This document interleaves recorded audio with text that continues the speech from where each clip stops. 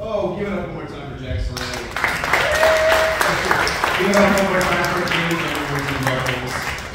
All right, up deck, guys, we got James Fitz. But coming to the stage right now, we got Brandon White. Give it up for Brandon White. James White!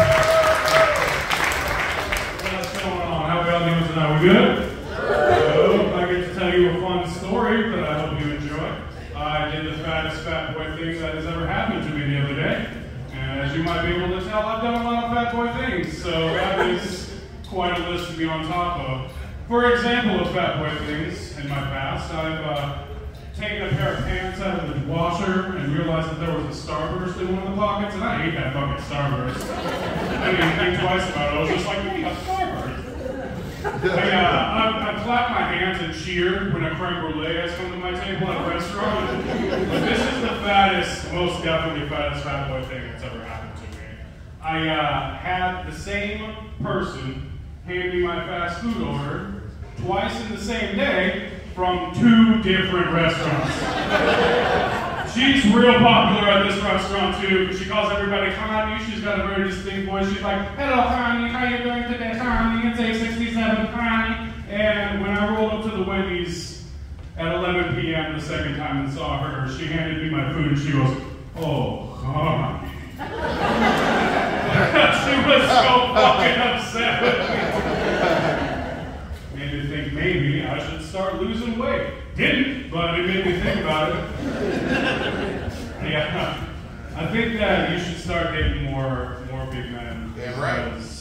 Thank you, Quentin. Because uh, we're soft everywhere, all over our bodies. If you want to take a nap, it doesn't matter what position we're in. You can just rest your head and be comfortable. Even my elbows are like kind of soft, like anywhere on my body that you want. Uh, ladies, are you always cold? Guess what? I'm always fucking hot. You ever cold, you just come up to me because I am always warm. It'll be 32 degrees outside and I'll be like, babe, let's turn the fan on.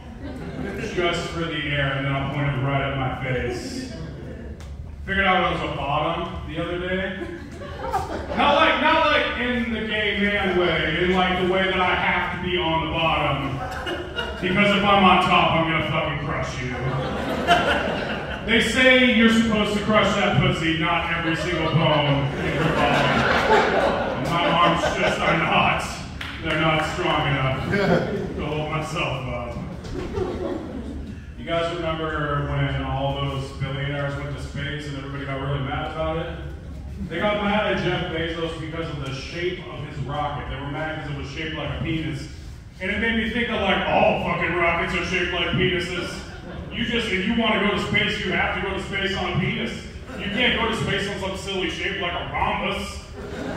This is a smart crowd. Everybody here knows what a rhombus is. It Makes me really happy because you learned about a rhombus when you were like seven. Why were they teaching us those fucking shapes?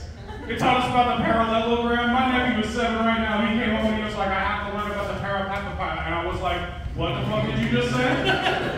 And he's uh, trying to say a 15 syllable word, a seven. He can barely fucking say cat. I love my nephew, but he's kind of an asshole sometimes. So this Christmas, I got him a Lego set that he wanted. It was $200.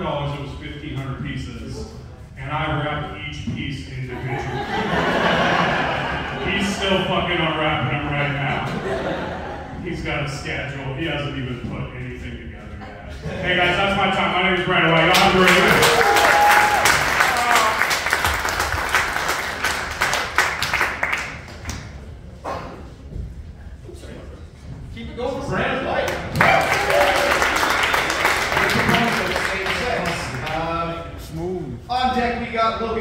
Wells will come to the stage right now. Give it up for James Fitz. Fitz!